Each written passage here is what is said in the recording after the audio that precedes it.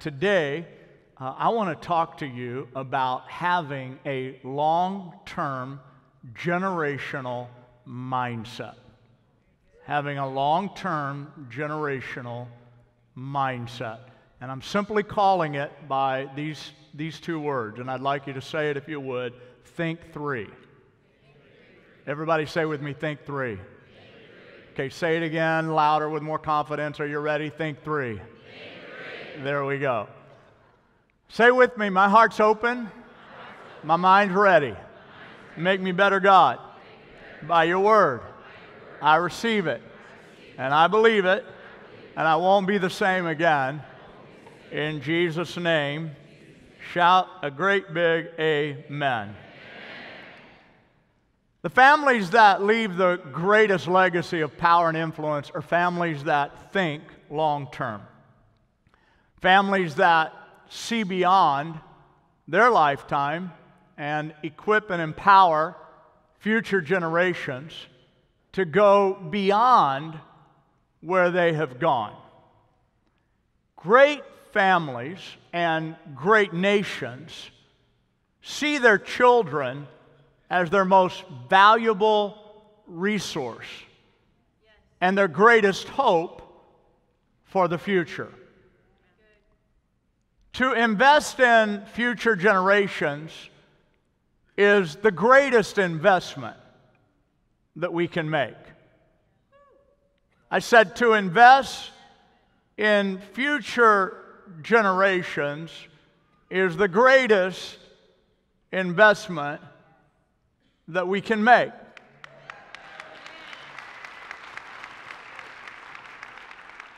This principle is true for a family and for a nation, but it's also true for God's church. And today I want to focus on, on that aspect of Think 3. Scripture teaches us that God's plan for His church is that it would get stronger in every generation, that the light would shine brighter, and that we, as the salt of the earth would influence in greater measure, that we would baptize and teach and make disciples and spread the good news to all people of the world.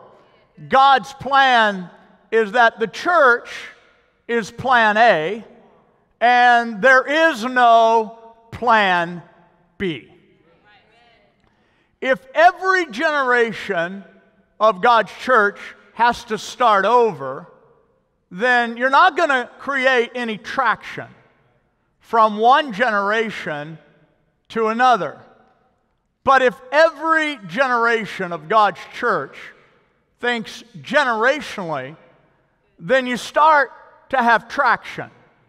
And one generation builds on the works of another. And every generation leaves a legacy that empowers and positions the future generations to go further and to do more to reach the world with the message of Jesus.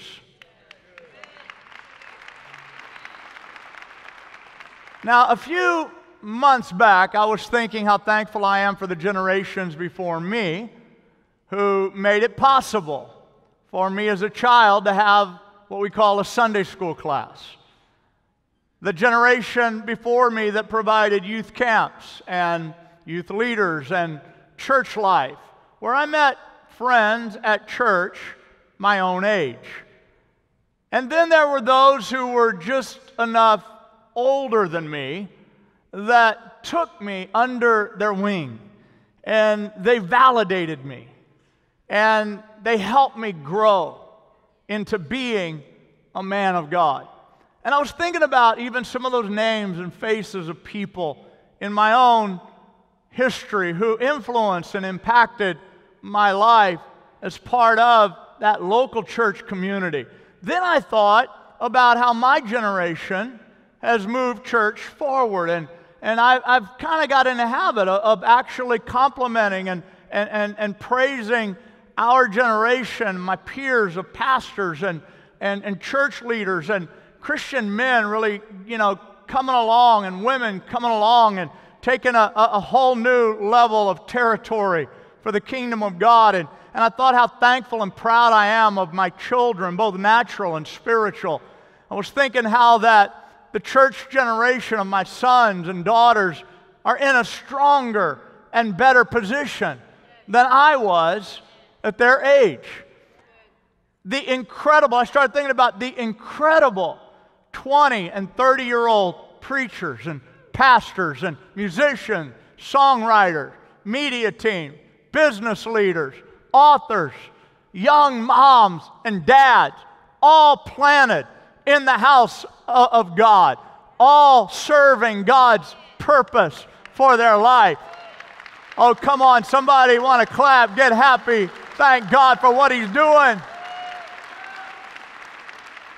And as I'm thinking that way, honestly, I, I was like pausing there and I'm, I'm almost like thinking, and not really, but sort of thinking about, you know, like, you know, hey, they did well, and Kevin, you've done well. And it's kind of like almost like, you know, work done. This generation's good. My sons and daughters are good. And then I felt like God say to me, think three. Think three. And as that hit me, I thought about it. I had never heard that phrase before, and I realized that when you think legacy, you don't just think about your age group, and you don't just think about your children. It was like a light went on, and I started to realize that to be legacy minded is to think at least three generations deep. Not just your generation, and not just your children's generation but your children's children. Your children's children. And I really feel like this is going to become, and we're starting it right now, and I can't make this happen, but if it, if it merits it and if it sticks in your heart, I would, I would expect that this phrase is going to become part of, of another one of those landmarks at Champion Center where we identify a concept just on, a, on language, on, on a word or two. We say, for example, at Champion Center, we say one day. When we say one day, a lot of people don't know what we're talking about. But the people who are in the fiber of our church family and have been around a little while, they know one day changes everything. One day in a person's life spells a brand new beginning. One day can and, yep, people are clapping right now because we understand. And I think, I, I feel like Think 3 is kind of one of those things. And so we're just breaking it out this weekend. But to be legacy minded is to think at least three generations into the future. And before I get really going on this and, and, and out there, I want you to understand how biblically grounded the concept is. My mind immediately was racing toward and this is the first place my head went when I heard think three, is Exodus 3, verse 15. The Lord, the God of your fathers, who is the God of Abraham, Isaac, and Jacob. It was a grouping of three generations. Acts 2 says, In the last days I'll pour out my spirit. And then it names three generations sons and daughters, young men and old men, dreaming dreams. I love that line. Dreaming dreams.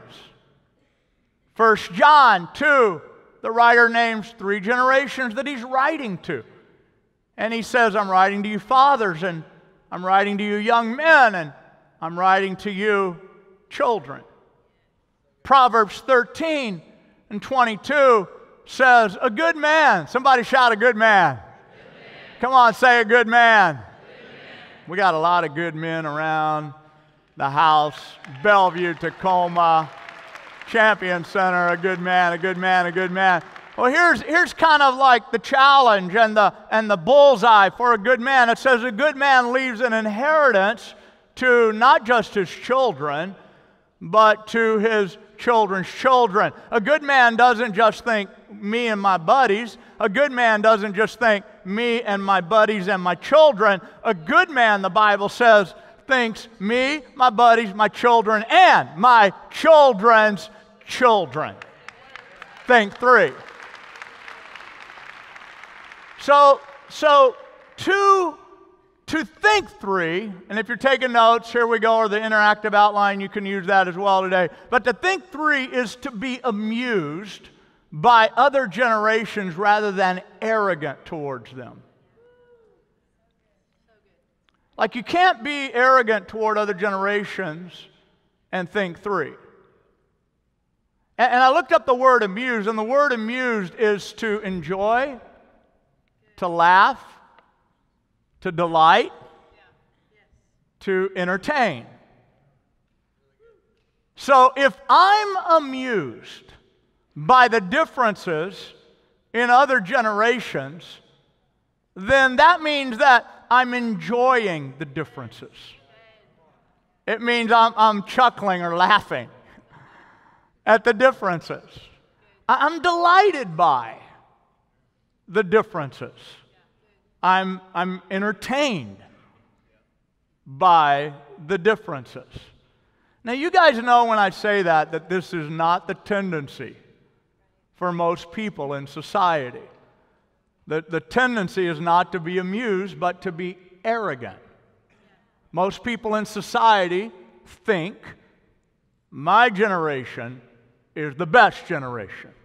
Whatever generation that is, that's what most people think. My generation hit the all time high in generational greatness. And since then, it's gone to hell in a handbasket. Am I right about that? Come on, just, can we get honest? That, that's how most of society is wired. Some of y'all are like, uh.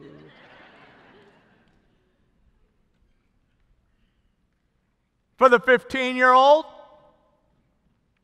it just starts early. Like, they don't want to be with the little kids.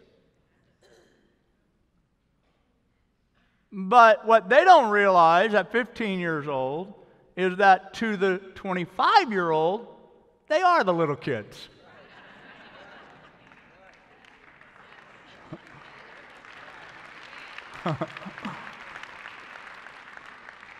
like, you know, my my peers, my age, my we're we're all that and more, and you know, and everybody else, you know, they're not as great as mine. Kind of got that deal, that idea. For the 60 year old, they're making plans to buy a Winnebago, put a bumper sticker on it that says, I'm spending my children's inheritance. And go far, far away. They don't like the younger generation. They don't like their music. They don't like their fashion styles. When they were young, they threw away jeans when they got holes in them.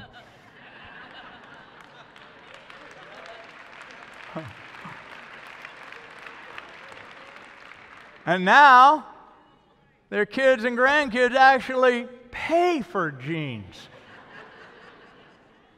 with holes already in them. I mean, how many of the older generation is saying to the younger generation, ah, look, if you wanted holy jeans, I could have made some holes in your jeans.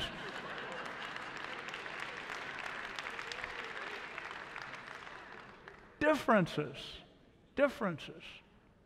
But, but if you're going to think three, it's okay to be amused and to laugh, but not to be arrogant. See, I think God wants us to be generational bridge builders. This is what I'm telling you today. Is that I believe that a lot of families and communities are suffering today because of generational bias. They have no example of how the generations can bridge the gap. They, they just have taken notes from their fathers, and their fathers took notes from their fathers. And so it's kind of like that natural, selfish thing kicks in anyway, and everybody kind of gets prideful about their way, what they learn, their music, their style, the way we do things. And then when others outside of their age group think a little different, approach things a little different, there's like an arrogance, like an arrogance about it. I believe and see the church as a place where we are called to demonstrate how to bridge the gap. How to bridge the gap.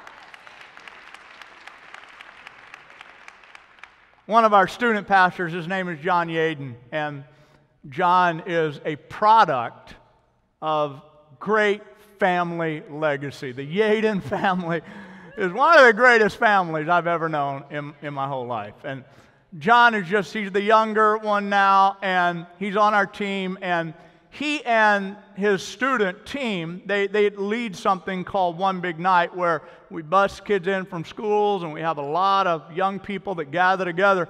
And a couple of years ago, they incorporated Sharon Yaden, who is John's grandmother, into their services and I just thought this was fun and funny. It's, it's like what we're, what we're called to do. But they, they didn't think about this. They didn't hear me preach a sermon. They just instinctively took this on. And so they call her G Money. Okay? they call his grandma G Money. And, and, and you're about to watch a little video of G Money getting the action started on a one big night. Okay? So this is a video that they used a couple of years ago, I think, to get it going. Have a look, and we'll come back and talk about it. Before we go any further, I want to teach you something I like to call the G Money Jigs. There's a new song out that I know a lot of you have heard this song before, but I want to teach you how G Money gets down. So here we go. It's like this. Okay, step one do your own thing. I like to do the brush my shoulders off. Okay, now step number two is really simple. Go ahead and put your hand on your hip like this. Step number three, give a little slouch. Loosen up the knees. Step number four is I like to call it the praise hymn. Put your arms up and praise him. Step number five is let it rock.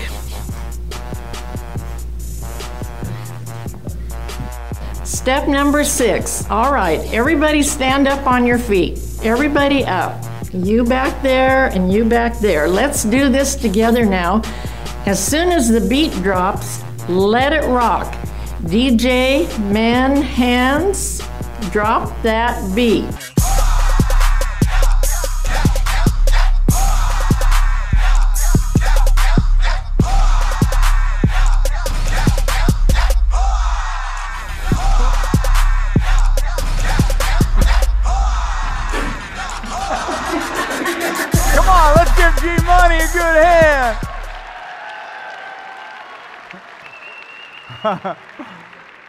wow, wow. Isn't that awesome?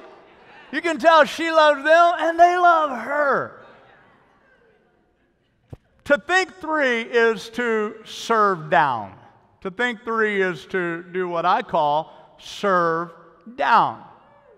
So a lot of people just want to be with people their own age. But when you have a generational mindset, you think of being with people and helping people outside of your own age demographic. And this principle is for everyone. It's there are gals who have raised your families and your grandma age right now, and it's for grandmas who can say, How can I help younger you know, the younger moms and how can I support them? And they're doing their best. And rather than shaming them about the way they did this and they did that, and I can't believe they did the bottle that way and they didn't do that, it's stepping out and saying, How do we help? If you're a teenager, if you're a teenager or in your 20s, you are in your prime time to not only have a positive influence on your own peers, but also on a child who is younger than you, a 10 year old, a 14 year old, who thinks that you hung the moon. I've got a little six year old grandson right now, Kyan, and there's some younger guys hanging around, and some of them do martial arts and they do jujitsu and they, you know just stuff that, that, that my, my grandson he thinks is cool, and they you know the flexible and doing all kinds of aerobic and air and, my, my and, and motorcycles, whatever. And my little six year old is in awe of them. And I'm just, I tell those guys all the time listen, my grandson is watching you. He thinks you're awesome. Don't you screw it up. Don't you dare screw it up. Because they have an influence that he loves papas and got great papas and dads and but, but there, you just, there, there's something when you're 14, when you're 16. If you can think out a little bit further than just your age demographic, you can start realizing that it starts at an early age. And just like you are thankful that people my age are creating opportunities and a church for you. You can start right now. All of you 20 something, your life will be better if you start thinking outside of your own peer group and ask yourself, how can I help the neighbor kid? How can I help the little girl or the little boy that lives next door in our block? When they see me, when I'm hanging out with their parents, when we're doing stuff together, how can I influence them in a positive way? And I just think that's the way we ought to be in the house of God. I just don't think we ought to succumb to all the goofiness that's in society and the peer pressures and the pride. And I just think we ought to show a higher level of thinking. And when we do, God rewards us. And God does awesome things for us. And then we become like the we become the influencers and we become the light and we become the salt because people are paying attention and going, man, they got three generations, they got four, they got all that doing light, and they seem to love each other and really get along with each other and support one another. So, here in Tacoma today, there is uh, one of our worship leaders. His name is Leon. And, and Leon, I want to just talk about him for a minute uh, because Leon you saw him up here if you're in Tacoma, but Leon is a, is a soldier stationed at Fort Lewis, and he's now been reassigned to Germany. And he leaves in a few weeks, and I'm really bummed out about that. Um, Leon is an awesome man, and, and you're seeing pictures of him right now. But he, uh, not only is he on our worship team, not only is he in the United States military, he's a man's man He's all in, he's all man, but he's over there leading kids' worship in our elementary age worship team. Now, now, can I just tell you why that means so much? Because we've made appeals from time to time to the men of our house. And the tendency is if we don't if you don't say anything, if you don't get intentional, if you don't connect the dots, what we do in our kids ministries is that we throw our kids all in with females. And the nurturing femininity is there. But the little boys are looking around. They're looking around for heroes. They're looking around for men. They're trying to find men.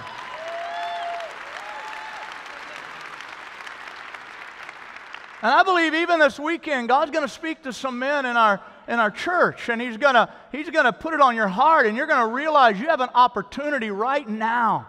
Let me just tell you, in the last 12 months, in the last 12 months, our database shows that there are 6,494 children from the age of, of, of zero to, to junior high, 14 years old, that have come at least three times to Champion Center. So they don't get in that database unless they've come at least three times. Okay, 6,494 children in that age demographic. Now, by far, they don't all come every week. I think about probably those that would come even twice a month, it would be about half of that. But my point is that we have this opportunity. And rather than complaining about young generation, and rather than saying it's going to hell in a handbasket, and why are they getting in trouble with graffiti and running the streets and joining gang? We have a chance to literally do something significant to impact their life while they're young. And trust me, the young, the, the, the dope, the drug dealers and the, and the gang, they're hanging out at the elementary age school. They're waiting for them when they get off school because they understand the power of a young life. And if you get them when they're young, in the church, I'm, I'm wanting to just wake you up. And you, again, you, I'm not just talking to a 60 year old, I'm talking to some 14 year old and some 16 year old. And I'm asking you to get out of just your own age demographic. Your life will not go well if you only think about yourself. I promise you, I promise you, I promise you.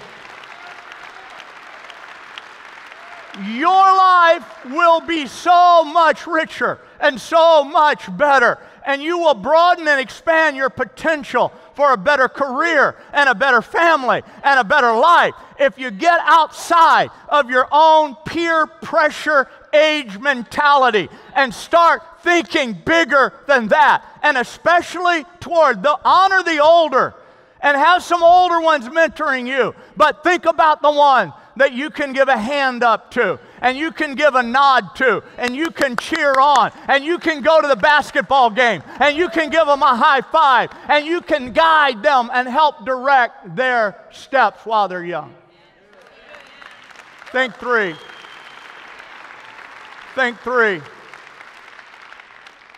So let me go to one more. Um, there's 33 million teenagers in America right now. It's the largest teen population ever. 85% of all people that come to Christ are under 30 years of age. 85% of all people that come to Christ are under 30 years of age.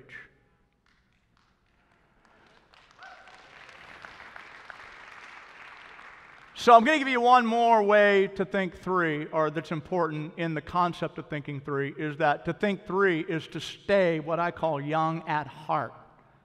Young at heart. Young at heart. We all know that aging happens, but oldness doesn't have to happen. Can I get an amen or a.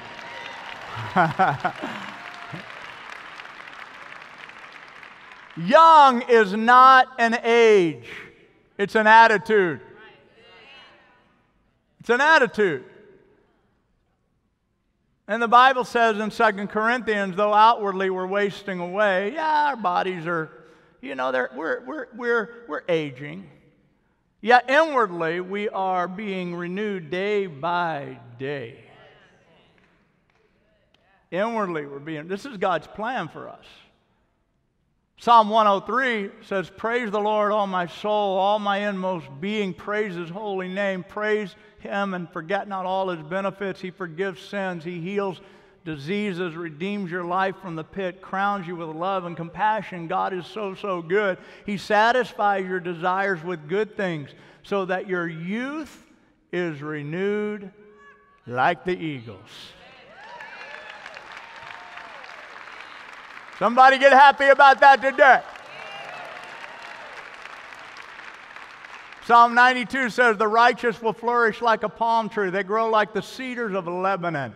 Planted in the house of the Lord, they will flourish in the courts of God. They will still bear fruit in old age.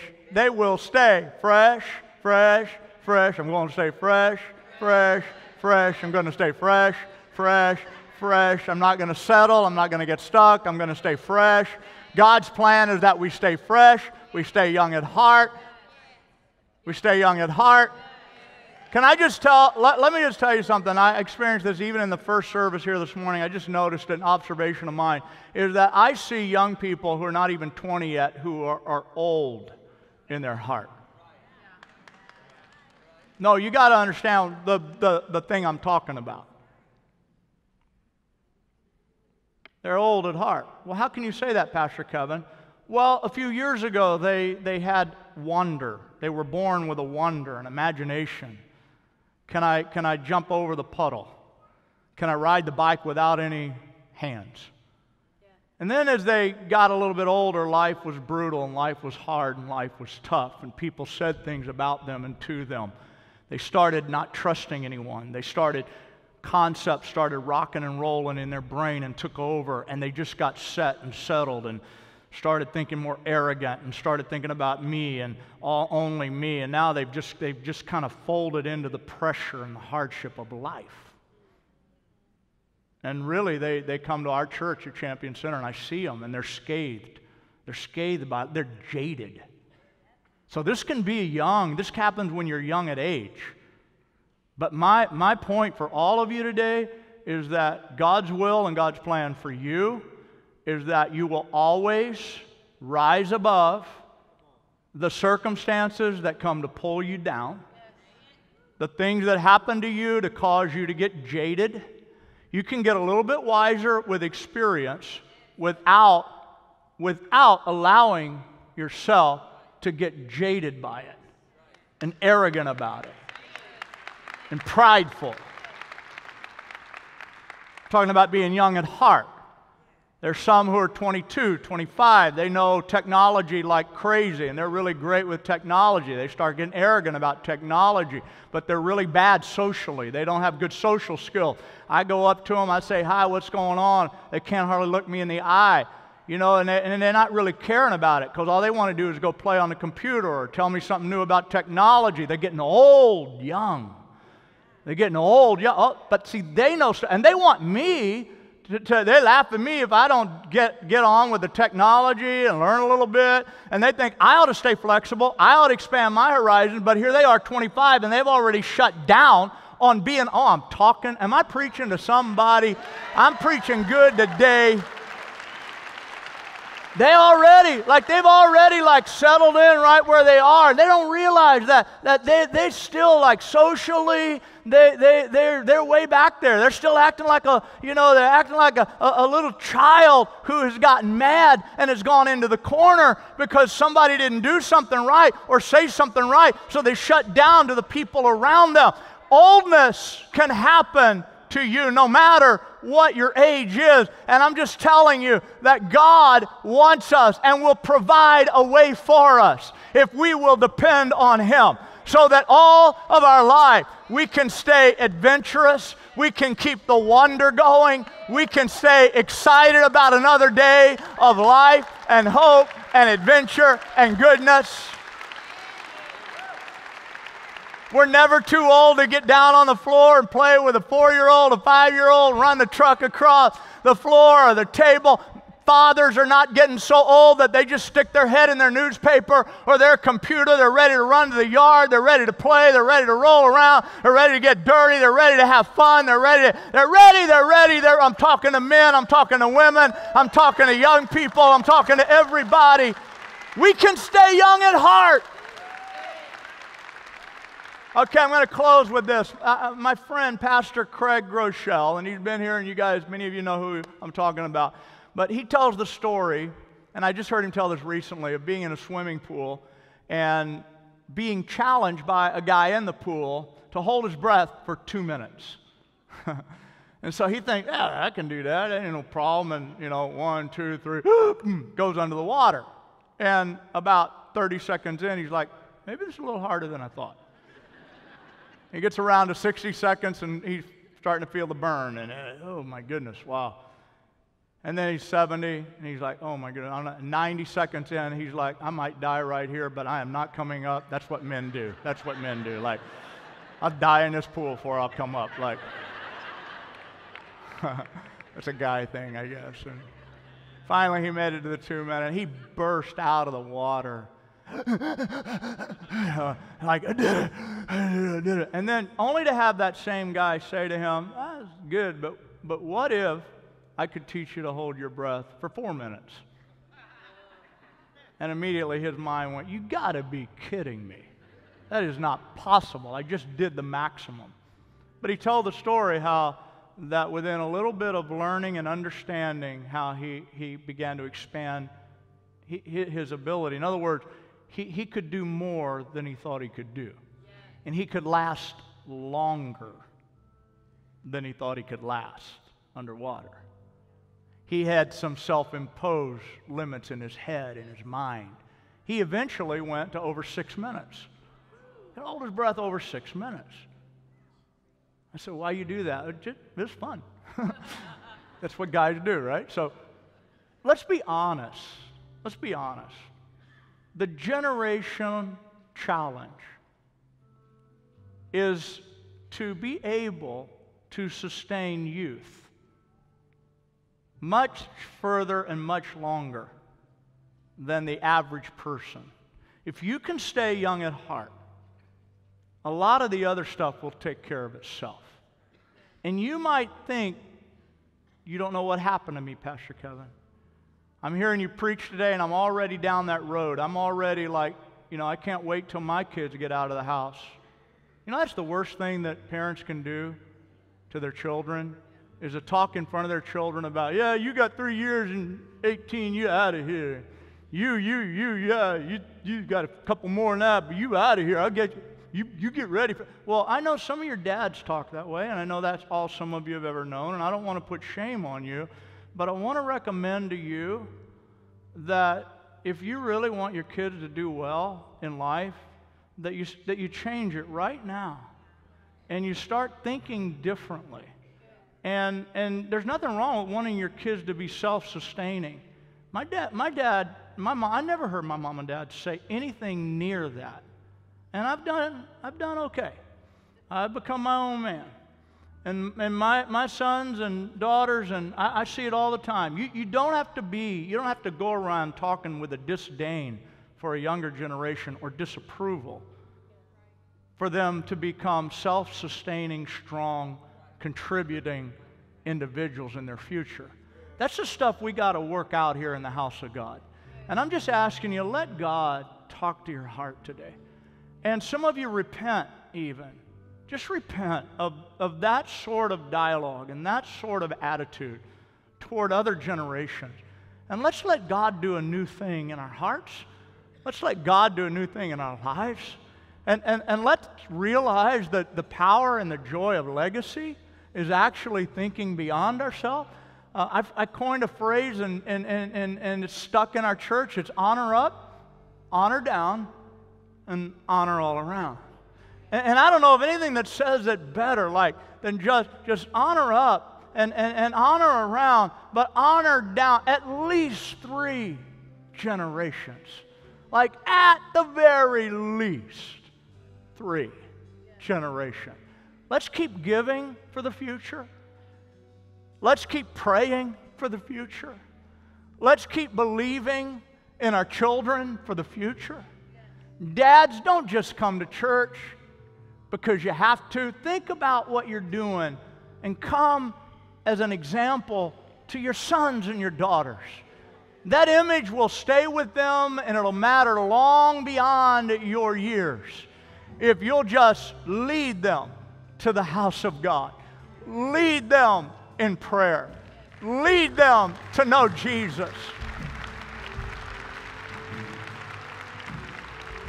Stay young at heart. Amen?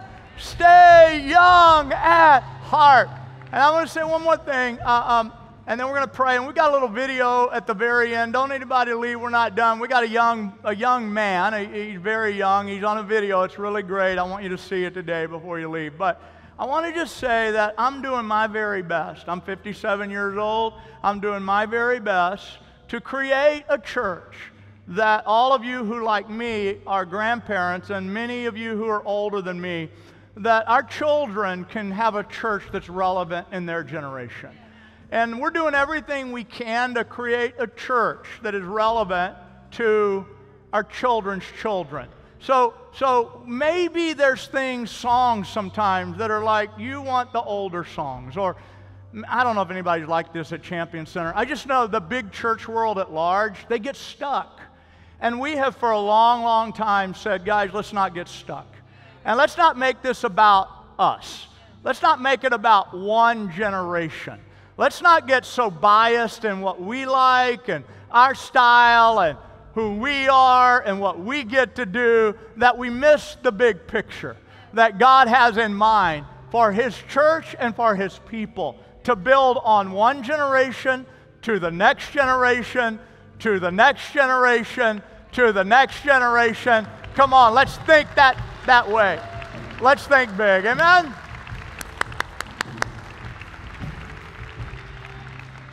I want to pray favor on you and on your house. Will you join me in that today? Both locations, if you will. Just while you're sitting down, just raise hands up in the air right there. Father, I thank you for your favor. And we boldly declare that your favor lasts a lifetime. And God, I thank you today. It's like the waterfall. The water that came over the fall yesterday was yesterday's water, but today you got a brand new dose, a brand new blessing. This week is a brand new week, and I just pray, God, that all of us would have a future mentality, God, that would think about the generations ahead of us, that we would be legacy minded in every way. Loosen us up, I pray, by this word. Keep us from being rigid and, and stagnant and, and rusty and dusty and musty. And God, just I pray, help all of us to be invigorated day by day so that our youth is renewed like an eagle. Help us to stay open to new things and new thoughts and, and, and new opportunities. And help us, God, to put ongoing blessings on our sons and on our daughters and on our children and on our children's children. May those who are young, I pray today, be empowered even at a young age, at, at 14, at 16, at 22. Let the young of this generation look behind them, I pray, and, and let Champions Centre be a powerful force of influence and be generational minded in Jesus' name. So be it, we pray. And all God's people said, Amen, amen, and amen. Wow, wow, wow. Okay, if you want a new beginning in your life, you want a new beginning in your relationship with God. This could be a young man, a young woman, a mom, a dad. It, it, could be a couple who are here in our services today. But if you're here and you say, Pastor Kevin, I need to start a new chapter in my life and my relationship with the Lord. I, I, maybe today you're here and you don't really know a lot about God, but there's a sense in you that just says, you know what, I, I want to follow His will and I want to live His plan for my life. Then, then include yourself in this opportunity. If that's you, just include your, if that's your heart, I'm going to lead you in a simple prayer, a prayer of new beginnings. And we're all going to say this together just to support you while you pray it, okay? But before we do that, if I'm talking to you, and you know I'm talking to you, and you know this is a moment in your life, I'm just going to ask you to have the courage, have the boldness to raise a hand up in the air. Raise a hand like boom, boom. Just put it up right now, wherever you are, whatever section you're in of the church. Good. In the middle section, good. God's move. Good. Over here, good. Hands are going up in Bellevue. Good, good. Hands are going up. My day, my time. Come on, my time. Wow, this is awesome. This is awesome. Way up high. I see hands going up. Way up, way up. Fantastic. Now, I'm going to ask you if you would hold the hand up high, and we're all going to say this together. In Bellevue, in Tacoma, say with me Lord Jesus, welcome to my world. I invite you today, come into my heart, come into my life, forgive me of all my sin, and make me a new person. I receive you now. You are the leader and you are the Lord of my life. And I'll never be the same again. In Jesus' name. I want to be the first to welcome all of you who just prayed that prayer. Come on, I want to welcome you. Come on, let's celebrate new beginning.